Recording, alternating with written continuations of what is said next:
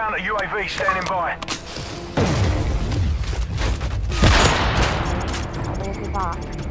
Mission accomplished. Good work.